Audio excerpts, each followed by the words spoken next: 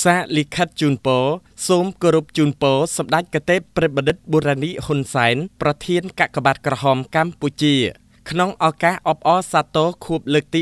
109ទិវាអន្តរជាតិនារី8មិនិនាឆ្នាំ2020នេះតាំងនាមថ្នាក់ដឹកនាំនិងមន្ត្រីរាជការនៃក្រសួងព័ត៌មានទាំងអស់និងខ្លួនខ្ញុំផ្ទាល់ព្រមទាំងភរិយាមានសេចក្តីសោមនស្សរីករាយនិងសូមបួងសួងដល់វត្ថុស័ក្តិសិទ្ធិទាំងឡាយក្នុងលោកមានទេវតាថែរក្សាព្រះរាជាណាចក្រកម្ពុជាសូមជួយតាមបីបាច់ថែរក្សាសម្ដេចកតេព្រះបណ្ឌិត និងសម្ដេចតេជោនាយករដ្ឋមន្ត្រីព្រមទាំងក្រុមគ្រួសារទាំងអស់បានប្រកបតែនឹងបរមសុខសុភមង្គលឈ្នះអស់មាសត្រូវគ្រប់ទិសទីនិងវាចាករោគាព្យាធិគ្រប់ពេលវេលា ដើម្បីដឹកនាំស្ថាប័នកកបាតក្រហមកម្ពុជាឆ្ពោះទៅកាន់វឌ្ឍនភាព និងទទួលបានជោគជ័យថ្មីៗបន្ថែមទៀត។ ក្នុងទិវាដ៏ឧត្តមឧត្តមថ្លៃថ្លានេះខ្ញុំសូមសម្ដែងនូវការកោតសរសើរដោយស្មោះចំពោះសកម្មភាពរបស់សម្ដេចកតេបព្រះបណ្ឌិត ដែលបានដឹកនាំស្ថាប័នកកបាតក្រហមកម្ពុជាឆ្ពោះទៅរកភាពជោគជ័យជាបន្តបន្ទាប់ធ្វើឲ្យកិត្យានុភាពកកបាតក្រហមកម្ពុជា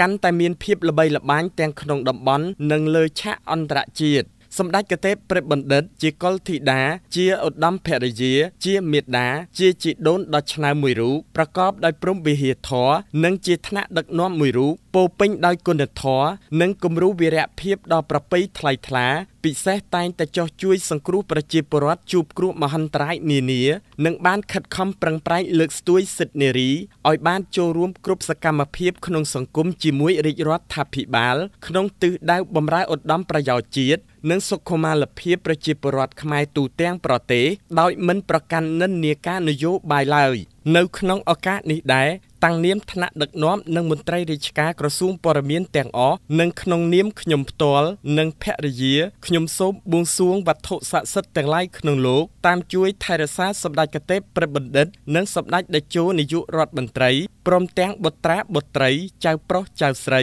សូមជួបប្រទះនៅពុទ្ធពរទាំងឡាយ4ប្រការ គឺអាយុវណ្ណៈសុខៈពលៈកំបីឃ្លៀងឃ្លាតឡើយសូមសម្ដេចកតេព្រះបណ្ឌិត មេត្តាទទួលនៅការគោរពដោយស្មោះអំពីខ្ញុំថ្ងៃច័ន្ទ9កើតខែផល្គុនឆ្នាំកុលឯកស័កពុទ្ធសករាជ2563រាជធានីភ្នំពេញថ្ងៃទី2ខែមីនាឆ្នាំ